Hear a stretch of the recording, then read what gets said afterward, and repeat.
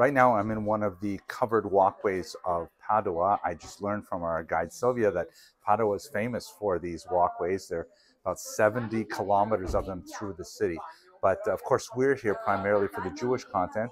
Uh, we're about to walk into the cemetery where the Maharami Padua, very, very important early Acharon, is buried. Very influential figure in, uh, in 16th century uh, Europe. And, um, and of course, we're going to go to the center of the city, see the, uh, the university grounds where the Ramchal drew his students, and uh, we're going to look at the Jewish quarter. I, am really fascinated. I can't wait to uh, see this town that I've read so much about in the context of Rabbi Moshe Chaim Luzzatto. You can see here these these very old tombstones, really unusual. Look at this one; it's like a pillar shaped, and uh, very common. Kohanim having the uh, the upraised hands, the duchening.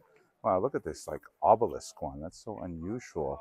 They have some of the oldest tombstones, and their their placement has been lost, and they. Uh, they put them on the walls here to record them. We're here at the actual kever of Rabbi Katzenellenbogen Maharam Padua. Here's his family crest, a cat, because his name, of course, was Katzenellenbogen. There's a beautiful view of the, the light coming into the small cemetery here. And now we're going to make our way into the city itself. Uh, you can see the, uh, the canals are, are fairly low. That's why we took a bus here from the boat. There's art everywhere in this uh, city of about 250,000. It's a very pleasant city.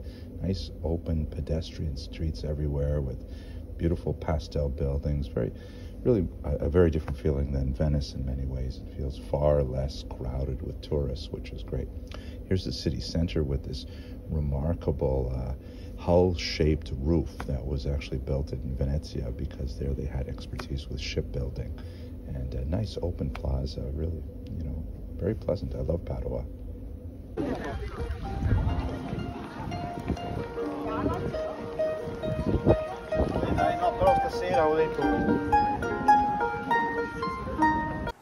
So behind me right now is the University of Padua, one of the oldest in Europe and one of the first to ever admit Jews.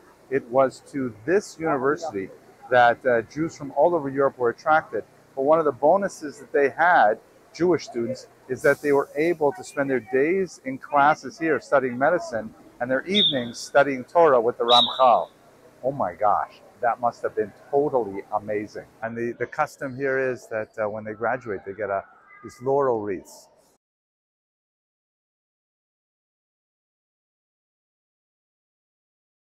Are all crests of the various professors and graduates who studied here. You get to have your, your name written up here. Wow, I need one of these.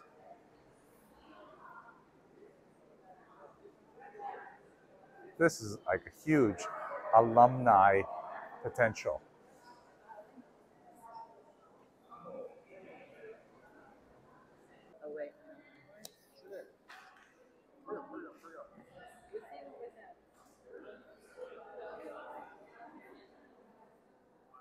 Uh, here in front of this university building, they have a memorial that you see in many places, unfortunately, in Europe.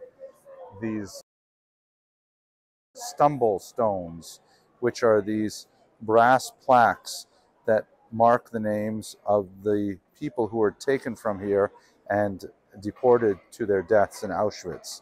And the idea of putting them into the sidewalk like this all over Europe is that people should literally stumble over them. I mean, in a figurative sense, not really literally.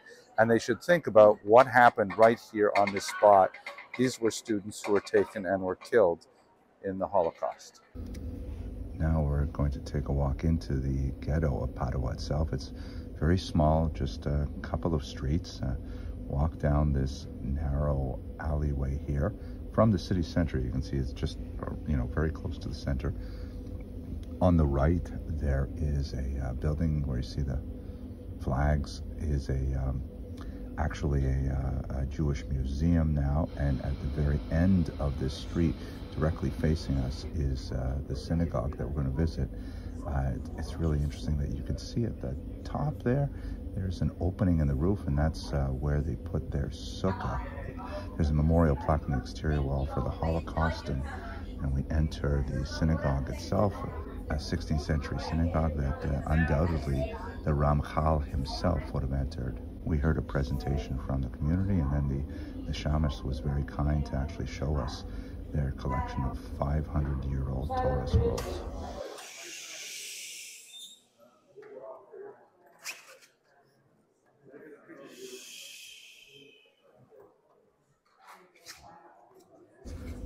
Course, we ended our day with uh, davening mincha. Amen. Amen. Amen. Amen. Amen.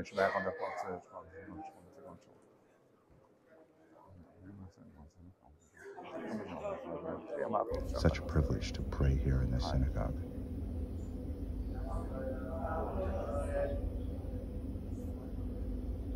Uh, that's how we concluded our day, and we made our way back to the SS La Venezia for a great meal and uh, rest up for the next day.